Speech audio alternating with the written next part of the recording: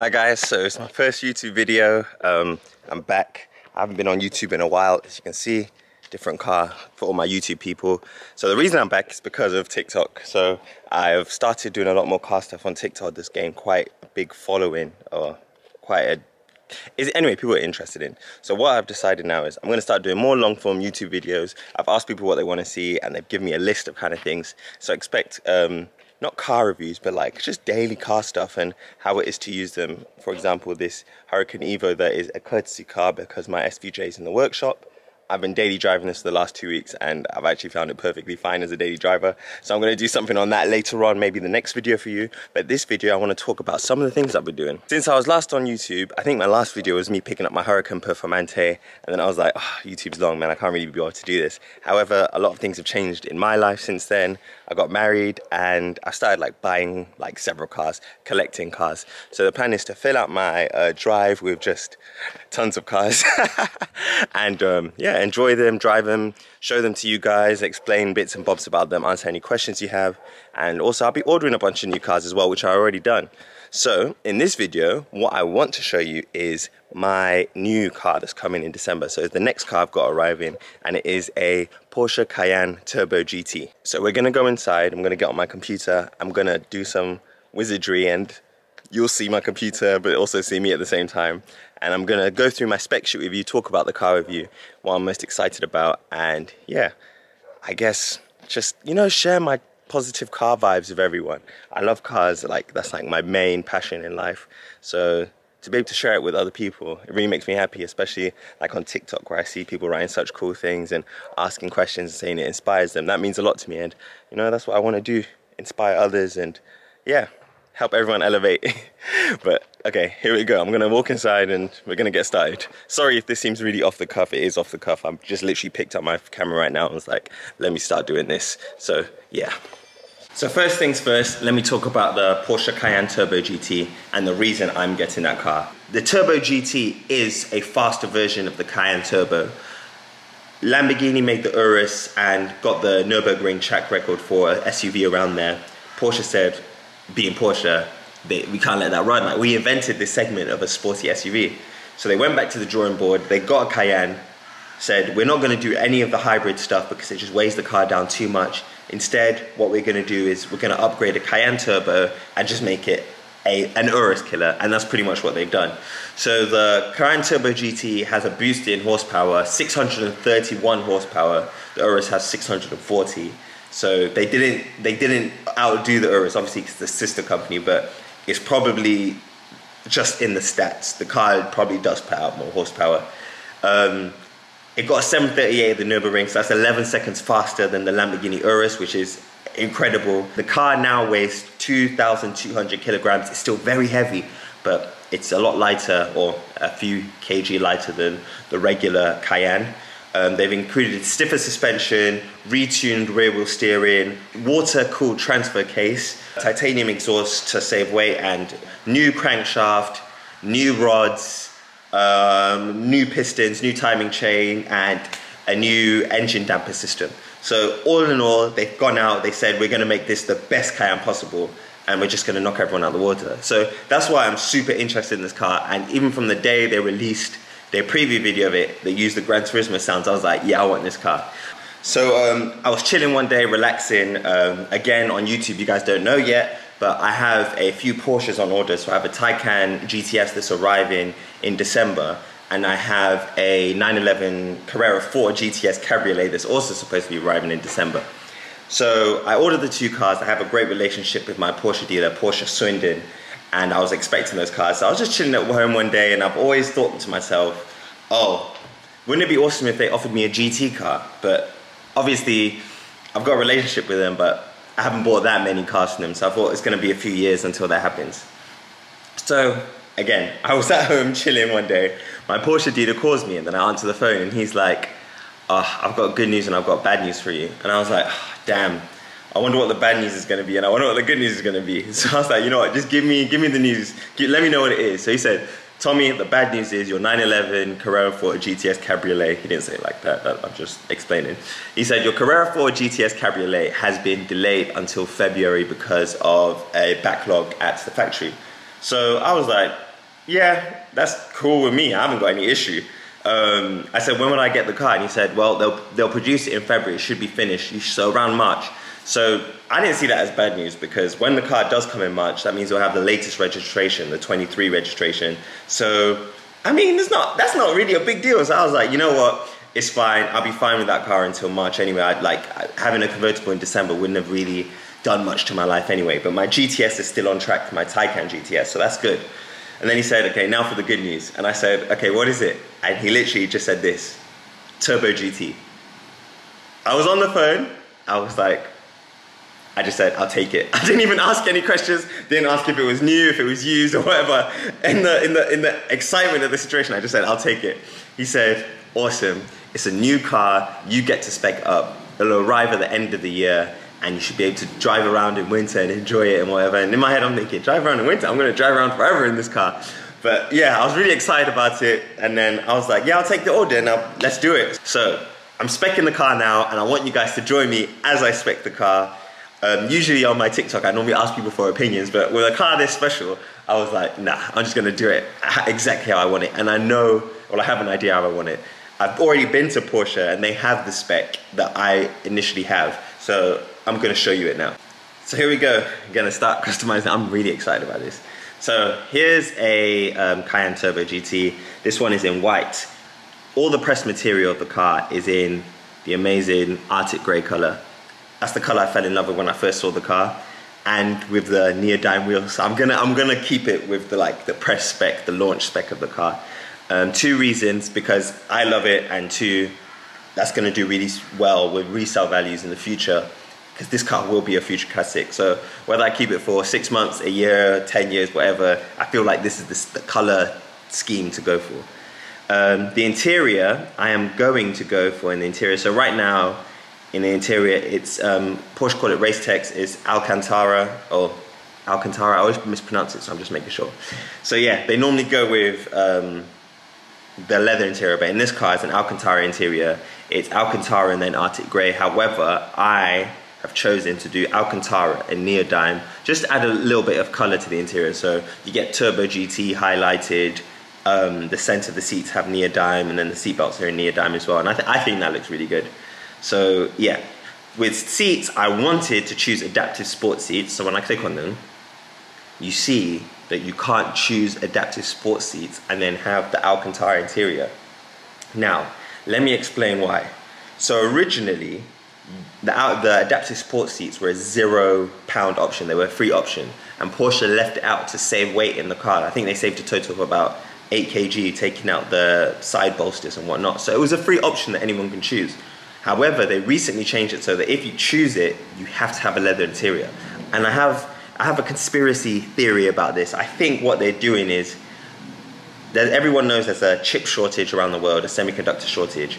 So in order to stop people from getting options that require more chips, they're trying to force people to the lesser ones. So if you do click on something that requires more chips, you then have to sacrifice what the essence of the car is, so the Alcantara interior. So unfortunately, I can't get adaptive sports seats. I'm just gonna get the eight-way regular adjust, so up, down, front, back, tilt. That's all this, the adjust that's gonna be there, which is annoying, but it is what it is. Um, seat stitching, gonna leave all that all the same exterior. So originally I wanted my door handles, I'll show you, against, uh, oops, against a white background so you can have a better idea. Originally I wanted my door handles painted in black. However, I was speaking to my friend Ish when I was specking it at Porsche Swindon and then I realized that I should probably just get them regular because if I want them in black I could just wrap them Whereas if I get them in black, I can't paint them back to the regular one. Like I could, but it'll just be too much hassle. So I'm just gonna get them with the regular door handles. Porsche LED, courtesy lights. I mean, I have to have that. I have it on my Taycan and I've spec'd it on all my other Porsches. I'm just gonna go for it now. And it's only 203 pounds and it comes with the ambient lighting on the interior, which I would have got anyway. Um, model destination on doors. So it's gonna show a little sign on the door about the car. So I'm gonna get in neodyme and you can see it right there in the corner just a little hint, a little nice subtle detail says Turbo GT. I think that looks really cool. Uh, and you can peel it off if you don't like it because it is inevitably just a sticker. Um, what else do I want on the outside? Uh, decorative side, no, no. Exclusive design, design filler cap. I mean, when you're paying upwards of 150 grand for a car, what's another 93 odd a fuel filler cap? So I've chosen that. Drivetrain and chassis. So this car comes with all of the drivetrain option, drivetrain and chassis options included for free. So it comes with carbon ceramic brakes. It comes with rear wheel steering that's been calibrated specifically for this car and specifically for the larger 22 inch rims that are available on this car. The rims are also one inch wider, the tires are also one inch wider, and it runs on Pirelli P0 Corsas, which none of the other cans run on. So yeah, it comes with that uh, rear wheel steering that's been calibrated for the car again. It also comes with PDCC, which is Porsche Dynamic Chassis Control. So when you go around the corner, cars normally bend, especially cars with high center of gravity like um, SUVs. So what the dynamic, dynamic chassis control does is that there's a motor on each of the, um, uh, gosh, my brain has gone blank. So what the PDCC does is that there's a motor on the front axle and the rear axle of the car, or stabilizer I should say. No, there's a word, I can't remember what it is. Anyway, there's a motor that then twists the body back so that it stays flat through corners and absorbs shocks um, more um, compliantly, or goes over them more compliantly. Um, and then it also, the car finally also comes with um, the Porsche Torque Vectoring Plus, which is the rear differential and then it also has the virtual um, torque vector on the car, which brakes wheels depending on where you need power to go. So yeah, it comes with all those, and then all you can do is make the um, brakes black. I don't want them in black. I think yellow can kind of clash, but I think because they're composite, so carbon ceramic brakes, yellow is normally the signifier for that. So I'm just going to leave it at that. And if it looks really not that nice in real life, I'll just paint it black. If I really want to, I think I'll just leave it the same. In terms of lights, um, non-cost option. A lot of the options are non-cost, and I think that's just because it's the value of the car and it's like a special model. Um, LED matrix lights are non-cost options. I'm going to get the tinted ones, which are 333 pounds, and I'll show you what they look like. So, yeah, I think they look pretty sick. So I'm to get those. Um, the rear light strip has hints of red, but you can get it tinted for 590. That sounds like a lot, and it is a lot, but I have to get it. I'm gonna get privacy glass as well for some tint on the back just to make the car look a bit cooler. I would normally get acoustically insulated and laminated privacy glass, which stops UV rays from penetrating the car, and then it also um, it also stops sound from coming into the car or too much sound. But I'm not going to get that because this is the kind of car you want to hear, especially with the exhaust on this car. Um, it's a titanium exhaust system, and they've retuned it and they've taken out the rear silencer, so it sounds a lot more aggressive and a lot louder than the regular Cayenne Turbo. Heated windscreen, uh, do, did I option it? Do I need that? Yeah, why not? 360 pounds or 336 pounds, not a big deal. Heads up display, you're gonna need that in this car because you're not gonna have time to be good at this. Right in front of you is gonna be good. Park assist, including surround view, awesome. Gives you a surround view of the car. Um, and helps you to not curve the rails when you're parking and stuff. So I think that's essential. Remote park assist. So this is a really cool thing. You can basically get out the car, press a button, it'll park itself. However, the Porsche app is a bit finicky in this early stages and I don't think I'll bother getting it because the time it takes to load all that, I could have just done it myself. So I'll save myself 900 pounds in that situation. Night view assist, I was gonna get it again, but it's not really necessary. It's more like um, infrared in a sense or heat um, vision. So it usually uses a thermal camera to pick out objects, highlight them on the screen, but it's not necessary. Lane change assist, that's very necessary. So in the mirrors, it'll tell you if there's something in your blind spot. Um, so this is another thing that Porsche can't let you do. So I tried to do InnoDrive, which is Porsche's like self-driving system. And when you do InnoDrive, it gets rid of the bespoke um, Cayenne Turbo GT wheel in Alcantara with the gold marker on it, and it forces you to get a leather one. So I've chosen not to get that because I feel like that is part of the essence of the car. So I'm just gonna get a regular adaptive cruise control with start, stop, emergency function, and lane keep assist with speed limit indicator. That was a mouthful. Home link, need that. I've got a gate in my house, got garage, so I can just press the button and open those things. Comfort access, I never spec in my car. It makes it really easy for people to steal your cars. I think they even write it here, note. Yeah, they do. Note, the Comfort Access uses state-of-the-art technology, however, it cannot be completely ruled out that Key's wireless encryption code is intercepted and used to open and steal the vehicle. So they're letting people know. And I also expect soft closed doors because it's really annoying when people get out of my car and they don't close the door properly. I wish I had that on the G-Wagon because that happens all the time on that car. Ionizer, might as well, keeps the interior pure for the occupants. Um, seat ventilation doesn't, you can't option that unless you get leather seats, unfortunately. And I don't want leather seats, I want the Alcantara. So I'm not getting that. Exclusive design gear selector is literally the same thing, just a bit different. I'm not gonna bother that. Four zone climate control, again, not gonna bother that. I don't care about the people in the back wanting their particular seat in a particular temperature. Um, uh, what, what did I click on just now? Cancel that. Um, I don't need any of these things really. Auxiliary heating with remote control, a thousand pounds for that. No, thank you. Um, electric roll up sun blinds. I was considering getting this. So basically, sun, sun blinds come out the door and roll up, but don't really need it. Um, graphite blue seat belt. So the seat belt's already neodyme, so I don't need to pick another option for that. I want the instrument dial in neodyme though. I think that'll look really cool. So let me see. I hate that it always goes to the outside view. So yeah, this is neodyme. I think that looks good. Um, look, just got a message there. Can't see it. um, Sport Chrono. So this um, center clock in neodyme. I will also get that. And let's see what that looks like. Yeah, I think that looks fire. I'm saying I think that looks fire, or I already know because I've done this a thousand times and I've actually sent it to Porsche already.